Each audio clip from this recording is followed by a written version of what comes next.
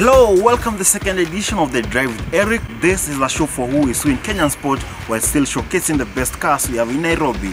Today's guest is Kenya Sevens International Willy Ambaka. We'll talk to him to tell us his story from Nairobi to France to South Africa and all the way to New Zealand. Come with me. So let's say like in the next three four seasons, Yeah. Kenya Harlequin may come back and win the Kenya Cup again. You be, you might be surprised like next season we actually Next doing season? it. Yeah, I don't see why not because now, right now like I, I believe like uh, the young guys are coming through quite well. So like it all, it all comes down to how we prepare and like um, what kind of game plan we're going to use.